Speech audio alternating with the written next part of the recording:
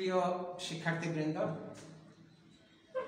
পদ্ম অর্থনীতি প্রথম পত্র অনলাইন ক্লাসে সবাইকে স্বাগত আমরা অর্থনীতি পত্র কলেজে তিনজন শিক্ষক আমরা এই প্রথম বর্ষের ক্লাসটা নিব। এর মধ্যে আমার নাম মোহাম্মদ আব্দুল হান্নান মন্ডল সহকারী অধ্যাপক অর্থনীতি। আর আরও দুইজন আছেন, ওনাদের পরিচয় ওনারা আছে এখনই। দিবেন? হ্যাঁ? আমরা ক্লাসটা ভাগাভাগি করে, হুম? ক্লাস ভাগাভাগি করে আমরা তিনজনেই ক্লাসটা নিব আর কি হ্যাঁ? সূচি মোতাবেক হ্যাঁ? আপনার, তোমরা সবাই নির্দিষ্ট সময়ে ক্লাসে অনলাইন ক্লাসে হ্যাঁ? ক্লাসগুলি গ্রহণ করবে। এই বলে আমি শেষ করছি। এবারে ওই আরেকজন শিক্ষক তাদের পরিচয় দিচ্ছেন। আমি মোহাম্মদ সানোয়ার হোসেন প্রভাষক অর্থনীতি জয়পুরহাট শহীদ জয়পুর। আজকের ক্লাসে রোহান আলম অর্থনীতি প্রথম পত্র থেকে তার পাঠ সম্পর্কে আলোচনা করব। ধন্যবাদ স্যারকে। সুপ্রিয় শিক্ষার্থী সকলকে অনলাইন ক্লাসে স্বাগত জয়পুর শহীদ কলেজের পক্ষ থেকে আমি মোহাম্মদ রোহান আলম, প্রভাষক অর্থনীতি, তোমাদের ক্লাসে উপস্থিত হয়েছে আজকে।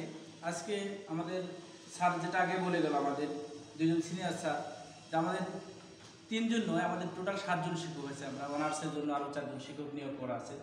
তারাও পর্যায়ক্রমে আসবে, আমাদের আওতাভুক্ত আসবে। কিন্তু এই যে ক্লাস অনলাইন আমাদের সপ্তাহে চারটা মাসে চারটা ক্লাস আছে। এই চারটা ক্লাস আমরা করে নেব আর কি। তো সেই পর্যায়ে আজকে আমাদের আমার দায়িত্বে আসতে আসছে ক্লাস আমি তোমাদের আজকে অর্থনীতি প্রথম প্রথম ক্লাসটা নেব। এখন, অর্থনৈতিক ক্লাসটা আমরা নেব। অর্থনীতিটা আসলে কি, এটা আমাদের আসলে জানা দরকার। অর্থনীতি কেন পড়ব কেন? অনেকে অনেক শিক্ষার্থী আমাকে বলে, স্যার অর্থনীতি খুব ভয় লাগে, অর্থনীতি পড়া যাবে না। আসলে যে, আমি যেটা মনে করি যে সায়েন্স যদি একটা ছেলে পিওর সায়েন্স হতে চায়, তাকে অবশ্যই হায়ার ম্যাথ থাকতে হবে। আর আমার দৃষ্টিতে যদি কেউ আর্টস পড়ে, যদি পিওর আর্টস যদি হতে চায় তার অবশ্যই অর্থনীতি থাকা লাঞ্ছনীয় এই জন্য অর্থনীতির প্রত্যেকটা সেক্টরে অর্থনীতির ভূমিকা আছে। মানব জীবনে প্রত্যেকটা ক্ষেত্রে একটা দেশের যে কোনো ক্ষেত্রে অর্থনীতির গুরুত্বপূর্ণ অবদান। অর্থাৎ অর্থনীতির সকল ক্ষেত্রে অর্থনীতির একটা ভূমিকা অনেক কাজ আছে। অর্থনীতি নোবেল পুরস্কার পাচ্ছে। অন্য সাবজেক্টে কিন্তু নোবেল পুরস্কার সেই জন্য আমরা অর্থনীতি বিষয় আজকে প্রথম পত্রের ক্লাসটা নিব আমরা। আজকে প্রথম অধ্যায়ে আছে তোমাদের মৌলিক অর্থনৈতিক সমস্যা ও তার সমাধান। এই অধ্যায়টা সম্পর্কে আমরা আলোচনা করব। তার আগে অর্থনীতি কি? এটা আমাদের আগে জানা দরকার। অর্থনীতির উৎপত্তি বই থেকে আসলো এটা আমাদের জানা দরকার। তো প্রথমে এই অর্থনীতির ইংরেজি হচ্ছে ইকোনমিক্স অর্থনীতির ইংরেজি কি? ইকোনমিক্স এই ইকোনমিক্স শব্দটি গ্রিক শব্দ, ওকোনমিয়া শব্দ থেকে এসেছে। যার অর্থ হচ্ছে গারস্থ পরিচালনা। যার অর্থ কি? গারস্থ পরিচালনা। এখন এই অর্থনীতি কাক বলে? বলছে যে যে শাস্ত্রে মানুষের অসীম অভাব ও সীমিত সম্পদের মধ্যে সমন্বয় সংক্রান্ত কার্যগুলি নিয়ে আলোচনা করা হয়, তাকে অর্থনীতি বলে। কি বলছে? আরেকটা আমরা রিপিট করতেছি। যে শাস্ত্রে, যে স্বাস্থ্য মানুষের অসীম অভাব ও সীমিত সম্পদের মধ্যে সমন্বয় সংক্রান্ত কার্যক্রম নিয়ে আলোচনা করে, তাকে অর্থনীতি আরেকটা জিনিস আমরা শিখব এখান থেকে, যে অর্থনীতি অর্থাৎ ইকোনমিক শব্দটির পূর্ণরূপ আছে।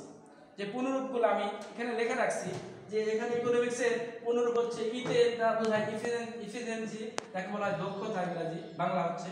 সিতে হচ্ছে কস্ট মানে হচ্ছে ব্যয়। ওতে হচ্ছে অপটিমাম যার বাংলা হচ্ছে কাম্যমান। এতে নেসেসিটি মানে প্রয়োজনীয়তা।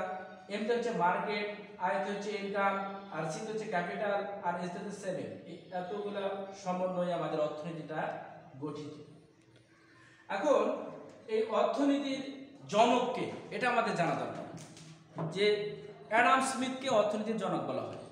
অ্যাডাম স্মিথকে অর্থনীতির জনক বলা হয়। এখন অনেক সময় পরীক্ষায় আসে আধুনিক অর্থনীতির জনককে। হয়তো বা এটা অনেকের প্রশ্নে এক মার্কের জ্ঞানমূলক প্রশ্ন অনেক সময় চলে আসে যে আধুনিক অর্থনীতির জনককে। তনুত্তর দিবা অধ্যাপক পল স্যামিউলসন অধ্যাপক পল স্যামিউলসন হচ্ছে আধুনিক অর্থনীতির জনক। এই অর্থনীতির ইতিহাসে অনেক সময় লাগবে আলোচনা করতে। আমি অল্প সময়ের পরিসরে কয়েকটি বিষয় তোমাদের জানাতে চাচ্ছি যে ক্লাসিক্যাল নিউ ক্লাসিক্যাল আধুনিক কিছু অর্থনীতিবিদের আছে। যাদের নামগুলো জানা দরকার যে কোন অর্থনীতিবিদগুলো ক্লাসিক্যাল, কোন অর্থনীতিবিদগুলো নিউ ক্লাসিক্যাল এবং কোন অর্থনীতিবিদগুলো আধুনিক। এদের ধারাবাহিক আমি কিছু টপিকস জানাচ্ছি। যে প্রথমে আমি দেবো ক্লাসিক্যাল অর্থনীতিবিদের ধারণা, যে Adam Smith, David Ricardo, J S Mill, তারপরে যে ইত্যাদি, এগুলো অর্থনীতিবিদ হচ্ছে ক্লাসিক্যাল অর্থনীতিবিদ। পরীক্ষায় অনেক সময় আসতে পারে যে দুটি ক্লাসিক্যাল অর্থনীতিবিদের নাম লিখো। তখন তোমার উত্তরে কি বলবা? যে বলবা যে Adam Smith, David Ricardo enough অনেকে পরীক্ষা প্রশ্ন হতে পারে যে নিউ ক্লাসিক্যাল অর্থনীতিবিদের নাম লেখো। তখন বলবা যে, অধ্যাপক মার্শাল, তারপরে যা বলবা ফিশার, এরকম আরও অর্থনীতিবিদ আছে যারা হচ্ছে নিউ ক্লাসিক্যাল অর্থনীতিবিদ। তারপর বলতে পারে যে, আধুনিক অর্থনীতিবিদের নাম লেখো। তো বলবা যে, L Robinson, P S Samuelson এরকম আরও অনেক আছে যাদের নাম বই পড়লে তোমরা জানতে পারবে। এখন কথা হলো যে, অর্থনীতি তোমরা কোন বই পড়বা? এই বইটা যেটা আছে প্রথম তোমাদের ক্লাস বই না থাকলে তোমরা তো পড়াশোনা করতে পারবে না। এজন্যে প্রাথমিক অবস্থায় যে বইটা সবচেয়ে বেটার আমার কাছে যেটা মনে হয়, এই কলেজ বা আদার সাইডে সরকারি কলেজ বা মহিলা কলেজ সব কলেজে এই বইটা বেশি চলে। সেটা হচ্ছে রণজিৎ কুমার স্যারের বইটা। এটা বই সবার জন্য এটা বাধ্যতামূলক। আমার দৃষ্টিতে এটা। তোমরা যারা অর্থনীতি, প্রথম পত্র, দ্বিতীয় পত্র যেটা, প্রথমে একটা বই রণজিৎ ছাড়ের বইটা কিনবা। রণজিৎ কুমার নাথ এটা হাসান পাবলিকেশনের বই। এই বইটা তোমরা সংগ্রহ করবা। এছাড়াও, যারা তোমরা আগে এসএসসি লাইফে গাইড বই তোমরা অভ্যস্ত ছিল অনেকে, যারা যেমন পাঞ্জারি পড়ে, অনেকে লেকচার পড়ে বা অনুপম পড়ে আসছো এরকম গাইড সিস্টেমের বই বাজারে আছে। কিন্তু সেই দৃষ্টিতে আমি তাদের নাম বলতেছি, যেমন প্রফেসর মোহাম্মদ সৌরাদ্দি স্যার, যেটা হচ্ছে ইয়া প্রকাশনী অক্ষরপত্র প্রকাশনী ওই বইটাও মোটামুটি ভালো। তারপরে যা আছে নরোত্তম রায় লেকচারের বই। তাছাড়া এছাড়াও অন্যান্য অনেক ভালো রাইটার আছে। আসলে যে অর্থনীতি একটা বই দ্বারা পড়া সম্ভব নয় কিন্তু একটা বই দ্বারা জ্ঞান অসম্পূর্ণ থেকে যায়। এই জন্যে তোমাদের উচিত একাধিক বই পড়া, যার দ্বারা বুদ্ধির বিকাশ ঘটবে সব কিছুতে তোমাদের সফলতা আসবে। এই জন্য আমি আরেকবার বলতেছি, বইয়ের নাম যারা পরে আসে পরে দেখতেছো, তারা বলব যে প্রথমে বইটা একটা কিনবো সেটা হচ্ছে রণজিৎ কুমার নাথ এই বইটা খুব ভাইটাল এই বইটা তোমাদের লাগবে, এটা কিনবা। বাকি অপশনাল হিসাবে সোরাদ্দি স্যার, মাসুম আলী স্যার আছে, মুস্তাফিজুর রহমান স্যার আছে, সুকেশ চন্দ্র জোয়ারদার আছে এক্সেট্রা অনেক রাইটার আছে বাজারে। এদের থেকে একটা বই, অর্থাৎ একটা বই রণজিৎ স্যারের নেবা, বাকিটা অন্যগুলা যেখান থেকে তোমরা সংগ্রহ করে নিবা। তাছাড়া আমি যে টপিকসগুলো আলোচনা করব সেগুলো আমি মুখে এখানে বললাম, বর্ণনা দিলাম, কিন্তু বাসায় যদি না দেখো এটা কিন্তু ফায়দা আসবে না ভালো তো এই জন্যে আমি অর্থনীতির প্রথম পত্রের কিছু টপিকস আমি আলোচনা করব। তার মধ্যে এই অর্থনীতি কাক বলে বললাম, তারপর এটা অর্থনীতি কাক বলে পরীক্ষা কোনোদিন আসে না।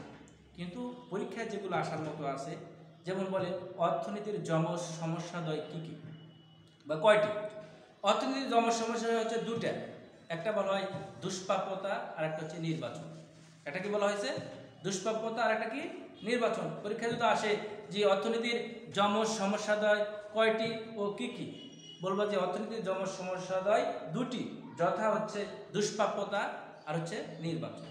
এখন কোশ্চেন হতে পারে যে দুষ্প্রাপ্যতা কি? তো বলবা যে দুষ্প্রাপ্যতা বলতে সম্পদের স্বল্পতাকে বোঝায়। এখন আবার সম্পদের স্বল্পতা বা কি? দেখো ভাই, দেখো যে আমাদের কিন্তু অভাব অসীম। আমাদের অভাবটা কি? অসীম। কিন্তু সম্পদ কি? প্রয়োজনের তুলনায় কি? কম। এই যে অপতুল, অর্থাৎ যে পরিমাণ আমাদের চাহিদা আছে সেই পরিমাণ আমাদের কিন্তু যোগান নেয় এই না থাকার কারণে, অর্থাৎ সম্পদার স্বল্পতার কারণেই আমাদের এই দুষ্প্রাপ্যতা দেখা দেয়। এই জন্য দুষ্প্রাপ্যতা বলতে পরীক্ষা যদি এক মার্কের জন্য আসে যে দুষ্প্রাপ্যতা কি, তখন লিখবা সাধারণত দুষ্প্রাপ্যতা বলতে সম্পদের স্বল্পতাকে বোঝায়। আর সম্পদের স্বল্পতা কি? সম্পদের স্বল্পতা হচ্ছে চাহিদার তুলনায় যোগানের কম, অর্থাৎ চাহিদা বেশি, কিন্তু যোগান কম। আরেকটা বিষয় হচ্ছে কি, নির্বাচন, যেটা বললাম, যে নির্বাচন চয়েস যাকে তোমার বাছাই করতে হয়, নির্বাচন বা বাছাই। এখন নির্বাচন কাক বলে? তো বলবা যে আর দেখো, আমাদের মানুষের অভাব অসীম, কিন্তু আমরা স্বভাব কি, অসীম হলেও কিছু কিছু অভাব আমরা পূরণ করতে পারি। কিন্তু স্বভাব কি আমরা একসাথে পূরণ করতে পারি? স্বভাব আমরা একসাথে পূরণ করতে পারি এই জন্য আমাদের কী করতে হয়? বাছাই বা নির্বাচন করতে হয়। অর্থাৎ যে জিনিসগুলো আমার আগে প্রয়োজন, সেটা আমরা আগে ক্রয় করি।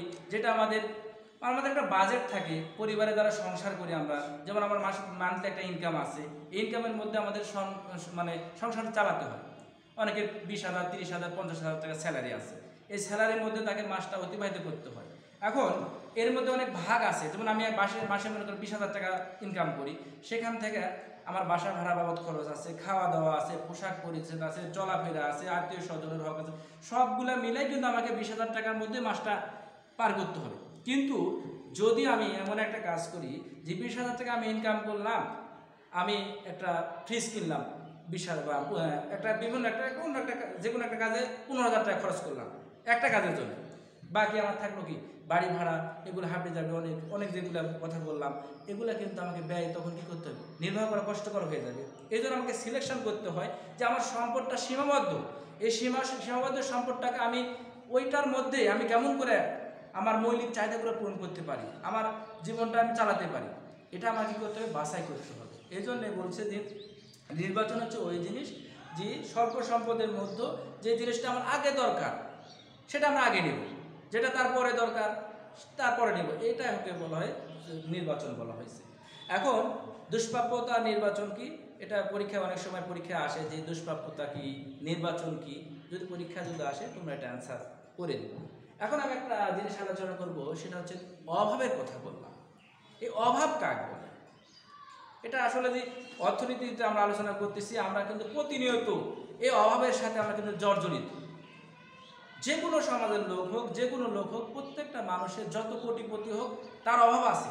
সেটা সে মনস্তান্ত্রিক হোক, শারীরিক হোক মানে সব কিছুতে টাকা পয়সা হোক আর বিভিন্ন ইয়ে হোক, তার কিন্তু অভাব আছে। প্রত্যেকটা মানুষই আমরা অভাবের সাথে জড়িত। এখন অভাবটা কাক বলে?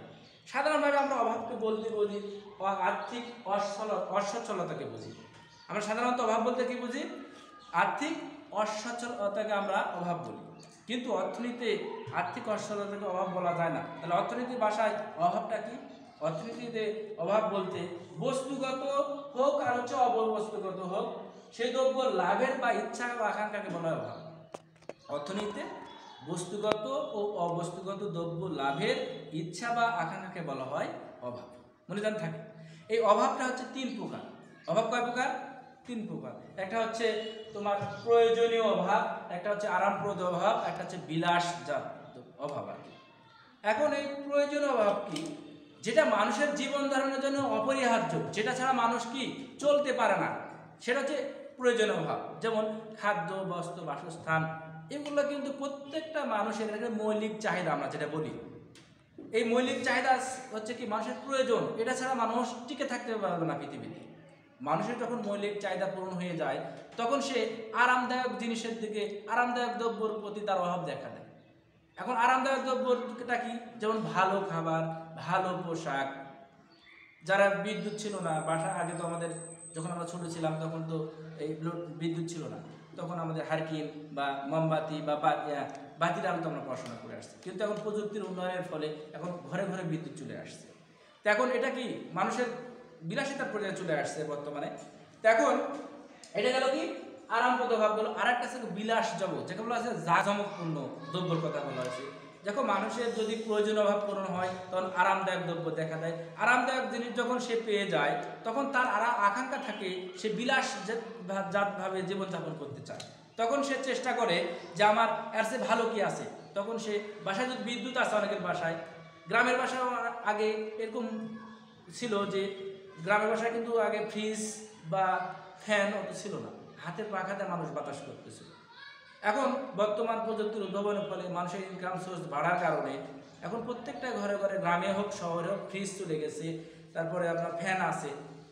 তো এগুলো তারা কি? এখন বর্তমানে এসির দিকে মানুষ এসি ওয়াশিং মেশিন তারপর যে স্বর্ণ, মানুষের চাহিদার কোনো শেষ নাই কিন্তু এই যে একে একে ধাবিত হচ্ছে, মানুষের ইনকাম যত বাড়তেছে, মানুষের তখন তার যে অভ্যাসগত দিক সবগুলো পরিবর্তন করতেছে তো এইভাবে আমরা ক্লাসিফিকেশন করব যে অভাবের তিন ধরন তিন প্রকার অভাব তো আসে, অভাব কয় প্রকার? তিন প্রকার বলবা। একটা প্রয়োজনীয় দ্রব্যর অভাব, একটা হচ্ছে আরামপ্রদ দ্রব্যর অভাব, আর হচ্ছে বিলাসজাত দ্রব্যর অভাব। এই অভাবের শ্রেণীগুলো তোমরা দেখে নিবা। তারপরে অর্থনীতির আরও জিনিসগুলোর মধ্যে বেশিরভাগ ব্যবহৃত হয় যে ওই অভাব যেটা বলতেছিলাম অভাবের কিছু বৈশিষ্ট্য আছে। বৈশিষ্ট্যগুলোও তোমাদের জানা দরকার। সেটা হচ্ছে, বলবা যে মানুষের অভাব অসীম। মানুষের অভাব কি? অসীম। আবার কিছু অভাব সসীম। কিছু অভাব কি? সসীম। আবার কিছু অভাব পূরণীয়। কিছু অভাব কি? পূরণীয়। অর্থাৎ এগুলো যদি আমরা ব্যাখ্যা করি, আমাদের অভাবের কোনো শেষ নেই। প্রত্যেকটা মানুষের অভাব আছে। সে যত বড় কোটিপতি হোক আর যেটা হোক, তার একদিক না একদিক তার অভাব আছে। কোনো মানসিক স্বয়ং সম্পূর্ণ নয়। এখন এই জন্য বলছে আমাদের অভাব অসীম। তবে অভাব কি বলছে? সসীম। কিছু কিছু ক্ষেত্রে কি সীমাহীন আছে। সীমারেখা ব্যতীত অভাব আছে আবার কিছু কিছু ক্ষেত্রে যেটা বললাম, অভাব পূরণীয় বললাম যেটা আসলে আমরা, অভাব কিন্তু আছে আমাদের, কিন্তু স্বভাব পূরণ না করতে পারলেও আমরা কিছু অভাব পূরণ করতে পারি, যা দ্বারা সমাজ, দেশ, পরিবার সবাই কিন্তু এগিয়ে যাচ্ছে। এই জন্যে আমরা আজকে যেটা আলোচনা করলাম অর্থনীতি প্রথম পত্রের তোমাদের বই না কিনলে আসলে আমি যে ভিতরে যে তোমাদের অধ্যায়ের যে আলোচনা আছে, সেগুলো আমি তোমাদের পড়ালেও তুমি, তোমরা তা বুঝতে পারবে না। এই জন্য আমার প্রথম তোমাদের প্রতি একটা ইয়া হলো যে তোমরা প্রথমে বইটা ক্রয় করো, বাবা। তোমরা বই ক্রয় করো, বাজার থেকে বই সংগ্রহ করো। আর আমাদের যে অনলাইন যে ক্লাস শুরু হয়েছে প্লাস সপ্তাহে যে ক্লাসগুলো আছে রুটিন তো দেওয়া হয়েছে অনলাইনে তোমরা অনলাইন থেকে রুটিনটা সংগ্রহ করবা। সংগ্রহ করে ক্লাসগুলো তোমরা যথাযথভাবে শ্রবণ করবা। আশা রাখা যে এই ক্লাসগুলো করলে তোমাদের অনেক উপকারে আসবে। যতদিন করোনা ভাইরাসের কারণে প্রতিষ্ঠান, শিক্ষা প্রতিষ্ঠান খুলতেছে না, ততদিন আমাদের এভাবে চলতে হবে। আর যদি প্রতিষ্ঠান খুলে, আলহামদুলিল্লাহ পাকের অসের রহমত যদি প্রতিষ্ঠান যদি খুলে যায়, তাহলে তো তোমাদের কোনো চিন্তার অবকাশ থাকবে না। তোমরা ক্লাস করলে রেগুলার আমাদের অর্থনীতির অনেক স্যার এবং স্যারগুলো মোটামুটি স্ট্যান্ডার্ড মানের, যার দ্বারা যদি নিয়মিত তোমরা যদি ক্লাস করো প্রাইভেট পড়তে হবে না। ক্লাসের পড়া যদি ক্লাসে রেগুলার আসো প্রাইভেটের কোনো চিন্তা করতে হবে না। ভালো একটা রেজাল্ট হবে আশা। আর যারা ইকোনমিক্স নিচ্ছে আমি আর কয়েকটা কথা বলে শেষ করব যে, ভয় পাওয়ার কোনো কারণ নাই বাবা। আমি দেখি অনেক ইকোনমিক্স নেয়, নেওয়ার পরে পরে মাইগ্রেশন করে। মাইগ্রেশন করার সুযোগ থাকে। এটার দ্বারা বলব এটা ভুল। কিন্তু একটা ছেলে মানুষ আর মেয়ে মানুষ তুমি যখন অনার্স সেকশনে যাবা তখন কিন্তু অর্থনীতি তোমাকে লাগবে। প্রত্যেকটা সাবজেক্টে খালি বাংলা, ইংরাজি ইসলাম ইতিহাস বা ইসলামী ইতিহাস বাদে বাকি যেগুলো সাবজেক্টে তুমি অনার্স করবা, অর্থনীতি তোমাকে পড়তে হবে। এই জন্য অর্থনীতির কোনো বিকল্প কিছু নাই। ভয় পাওয়ার কোনো কারণ নাই। তোমাকে যারা অনেকে পরামর্শ দিবে যে অর্থনীতি খুব কঠিন বাবা, অর্থনীতি তোমরা নেও না। অর্থনীতিতে পাশ করতে পারবে না। তো তুমি তাদেরকে একটু জিজ্ঞাসা করে দেখবা, তারা কি অর্থনীতি পড়ছে? অর্থনীতি তারা পড়ে তারা এই কথা বলবে না। যারা পড়েনি, ভয় করছে জীবনে, তোমাকেও ভালো মানে ভালো জায়গায় বুঝতে দিবে না। এটা তাদের মুখ্য উদ্দেশ্য। আমি তাই সবাইকে সকল শিক্ষার্থীদের প্রতি দৃষ্টি আকর্ষণ করব যে তোমরা তো অর্থনীতি নিয়েছো মাইগ্রেশন করার কোনো প্রয়োজন নাই। যে কোনো সমস্যা, আমি আমার নাম্বারটা স্ক্রিনে দিয়ে দিচ্ছি। আমার নাম হচ্ছে, আবারও বলতেছি, মোহাম্মদ রোহান আলম, প্রভাষক অর্থনীতি জয়পুর শহীদ কলেজ। আমার নাম্বারটা তোমরা লিখে নিতে পারো। যে কোনো সমস্যায় ফোন দিবা। Zero one seven three four two seven five zero double seven আরেকবার বলতেছি zero one seven three four two seven five zero double seven Rohan sir, বললে হবে। রোহান স্যার।